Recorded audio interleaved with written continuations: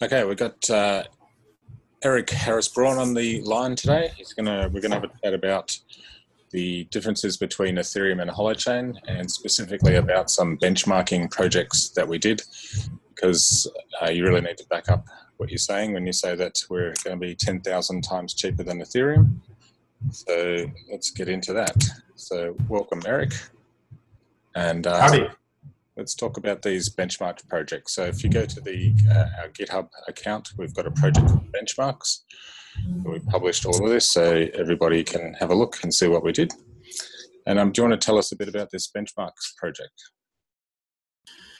Sure. I mean, the idea here was to run, to, to create some applications in Holochain that match exactly, well, as much as possible, exactly uh, um, the functionality as a bunch of projects also that run on Ethereum and try to find out what the um, on Ethereum we can see what the gas what you actually paid to get that function run in a distributed environment right? And so what we want to do is say okay and then how much processing time will be taken up in running the same kind of application in the holochain environment so we can get a sense of what the about whether we can do exactly what we think we can do which is produce the same amount of computation at uh, a 10,000th, 100,000th, maybe even a millionth of the price.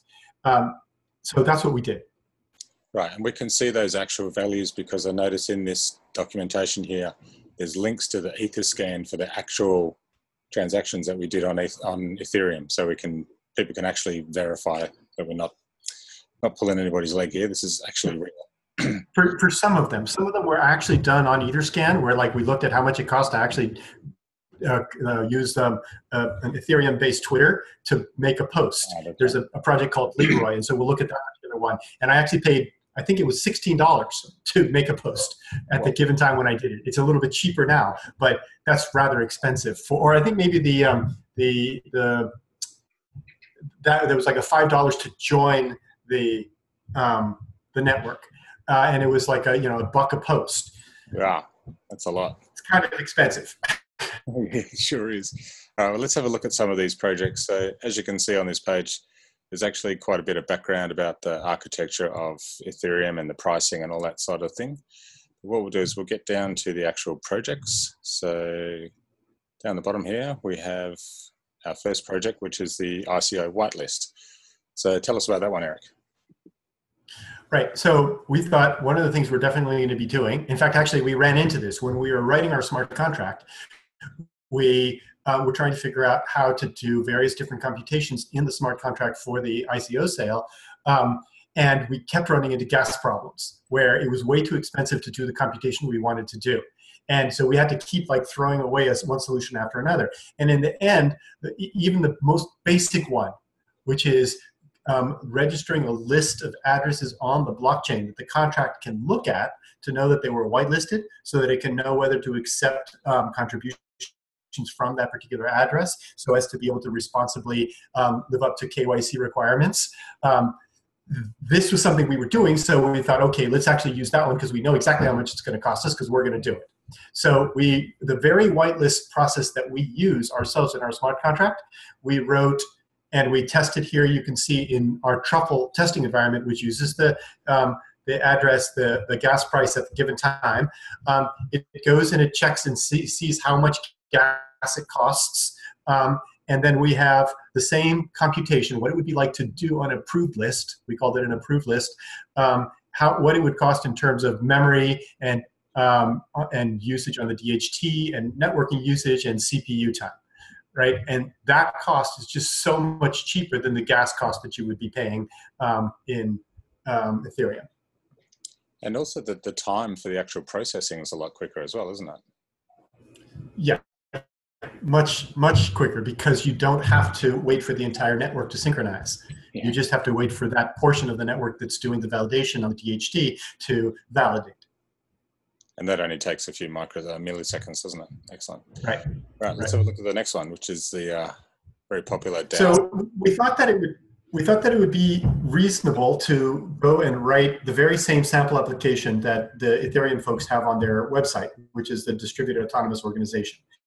And so I wrote a a holochain based version of basically the same thing where you can make proposals and you can submit proposals and then you can have them funded. And so this basically includes a, a simple version of a mutual credit currency um, because uh, as um, you, you, may have seen earlier in the presentation holochain doesn't have a currency built into the into the base of it or into the core of it. That's something that you add later. Mm-hmm. um, so this test has a basic mutual credit currency to be able to do some of the testings. It's not as complete as one that you would want to use um, in a production environment, but it gives us a sense of the uh, of the computation cost that would be involved. Um, and so once again, you can see what the cost was in gas, um, a fair amount of gas, and then the, the same thing done with proposals um, in the um, in the hall holochain version. One of the interesting things to note is that there's a huge difference in cost depending on how much data you actually store on chain. So that's why you see right here 10 bytes versus 1K bytes in the proposal that you're storing on chain. Mm-hmm. Right? And so in Holochain, how much data you store on your chain is not a price issue. And this is one of the big, big cost issues about the blockchain is that because everybody has to store that data, it's an expensive thing to do. So people come up with other solutions. They come up with solutions around storing hashes to data and so on.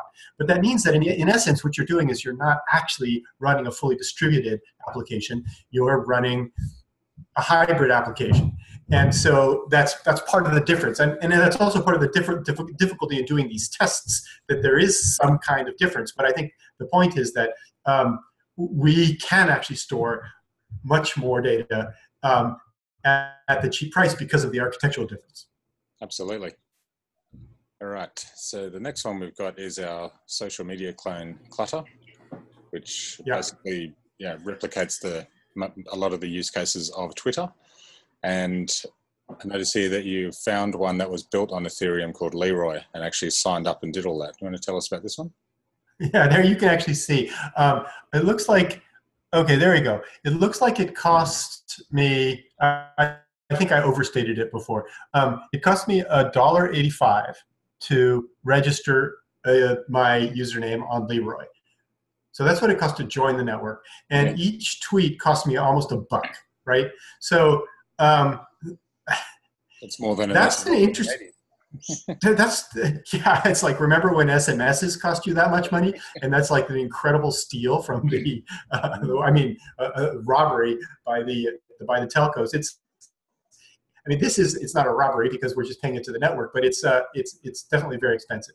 And you know and then if you look at how how much it costs in terms of cpu and networking time it's nothing, right? You know, 19 milliseconds worth yeah. of computing time and a bunch of K and storage space and networking space on the DHT. It's not nearly as expensive.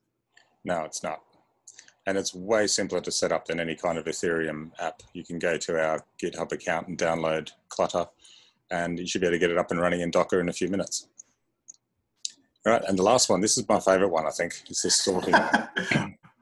Okay, so sorting is a very standard thing you do in computation, right? You can't actually sort a large list in Ethereum. You just can't do it because the action is too expensive to fit into an Ethereum block. So all sorting has to happen off chain. So if you're, and, and so people are like, well, what's the problem with that? It's you're not doing the computation in the distributed computing environment. Mm. So the largest element, I think the largest list that I could sort on the blockchain um, at the time was like a 300, uh, 300 unit element. So it's kind of it's an interesting question as to what your distributed computation environment can and can't do. Yeah, it's crazy. I mean, the, the fact that you have to you have to alter the way that you program just to make your bits of computation fit inside these gas blocks. So that, that's the thing that I find really, really frustrating.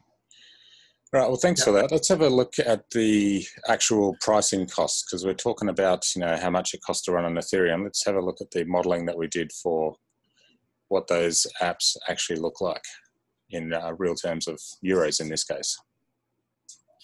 Yeah, so it, I mean, in this case, right now, when we did the modeling, of course, the price of Ethereum was way higher. It was at that level of 700, and so the the total amount that we calculated it would cost to run all of the computations that we um, that we just talked about was around 5,000 euro. But so I'm just going to go change the value and change it to you know 350 euro, which is approximately the types. But it still is 2,000 euro to run those computations, and that amount of computation should it, it should be almost it should be almost nothing, right? Because that's how it's just a little bit of CPU time. So the question is, can your architecture support that? And what we're saying is, well, it looks like ours can. So our opening price is going to be 10,000 times cheaper, which means that it's going to be 25 cents of a euro to do it. And it seems, given what we just showed you, that it seems feasible that we can do that. And in fact, it should be much, much cheaper in the long run, and the price should drop very, very quickly after the after opening day because that's not even the actual price. It should be a lot cheaper. Of course, that depends on how many networks you have up there and what the comp- how many nodes you have on the network and what the competition is for the use of those nodes and so on. It's a market-driven thing, but it should be a heck of a lot cheaper than than that price. Oh, and here the gas price is also a little high. Let's put the gas price down to five. Great. It's still, even if it's 400 euro for all that computation, that's way, way, way too expensive. Yeah, that's. So, Excellent. Well, thank you very much for your time, Eric. And um, gladly. Thank you, Philip. Appreciate you all your work. Excellent. Thanks, mate. Bye bye. Okay. Be well. And you stop the recording.